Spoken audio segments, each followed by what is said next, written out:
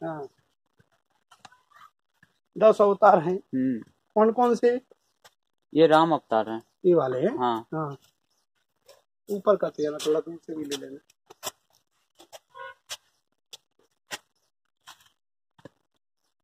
तो ऊपर तक एक जैसे बने हैं क्या? कहाँ तक? ऊपर से नीचे? तक एंड तक। नहीं नहीं वो अलग अलग है उसमें सारा।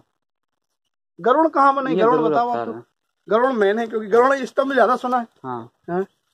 ये देखिए ये अच्छा ये वाले गरुड़ हाँ ये मत्स्य अवतार भी मत्स्य अवतार है। हाँ। बहुत बढ़िया।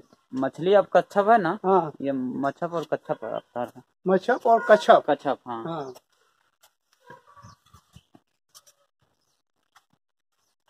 ये कच्छप अवतार। है। हाँ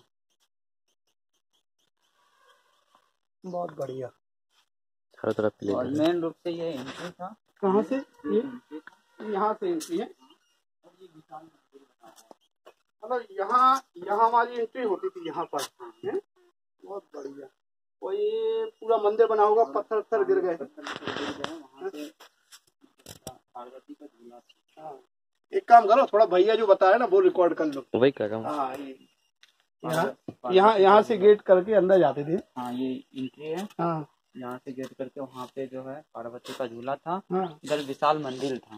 पूरे में? हाँ और इधर शिव जी का मंदिर था हाँ। ये साइड। इस साइड में? हाँ वहाँ पे एक बना हुआ है मतलब शिव का हाँ। शिवलिंग भी बना हुआ है। ऊपर अच्छा उस तरफ़ है हाँ तो यहाँ का एक बहुत विशाल शिवलिंग जो है उठा के ले गया है। अच्छा। हाँ। वो बाहुबली वाला तो नहीं ले गया? बाहुबली सोच लीजिए। ये म, ये था पहले मंदिर है? हाँ हाँ। तो नहीं? यहाँ पर मंदिर था। बहुत बढ़िया। तो पहले झूले पे बैठे रहते होंगे। हाँ हाँ। हाँ।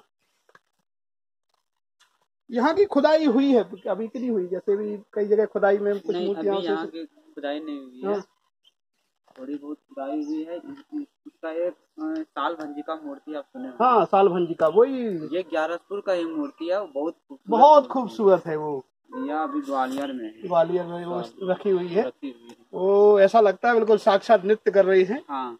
हाँ हाँ। साल भंजी का मूर्ति सबसे अगर ये खूबसूरत। में रहती है अभी। हाँ। तो बहुत तांता लगा रहता लोगों हाँ, का साल भंज का यहाँ पर सबसे खूबसूरत बोलते हैं उससे खूबसूरत कोई महिला हो नहीं सकती। हाँ। और उससे खूबसूरत कोई मूर्ति बना नहीं सकता। हेलो। आप कहाँ से हैं? मैं भोपाल। हेलो। क्या कह रहे हैं कि हम आएँगे ये शंकर जी तो है नहीं। आप ही बैठ जाओ। चलो।